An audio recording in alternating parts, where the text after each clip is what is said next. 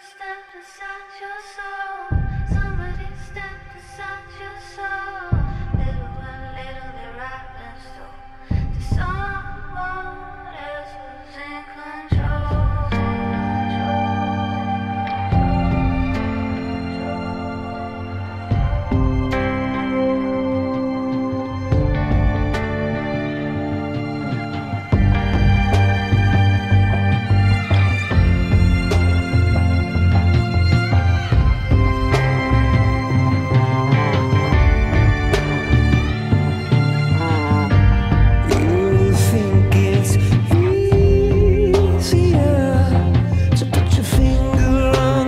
trouble when the trouble is you.